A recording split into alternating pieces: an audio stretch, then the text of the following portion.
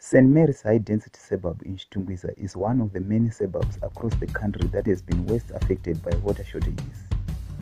This water crisis has brought with it quite a number of challenges, where some traders are capitalizing on this obtaining crisis through selling this precious liquid to residents,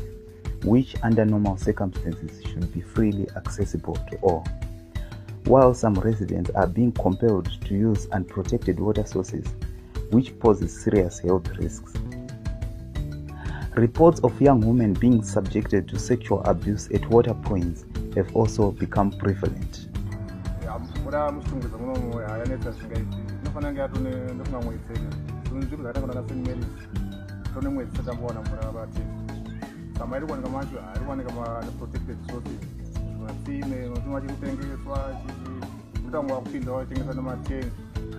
hatitizima sotizimbaaingoti ibo wota but atazvizonzisi kuti ibo wota here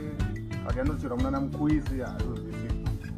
mr shoko a resident of chitungwiza says water is something that should be freely accessible to all mvura handiti ka chinhu chisingafanira kunge chichitengesa chinhu chinofanirwa kupiwa vanhu ka nehurumende for free eh, hatina mvura hatina rubatsiro rwatinokwanisa kuwana kuhurumende kuti tiwane mvura zvakureva kuti vanowana mvura ndo vane mari but mari haisi kumunhu wese mari iri kuvanhu vashoma nditi maona manji e, tikati titi isusu maybe icouncil ya council inofanira kunge ichisapotwa inosapotwa nani inosapotwa nehurumende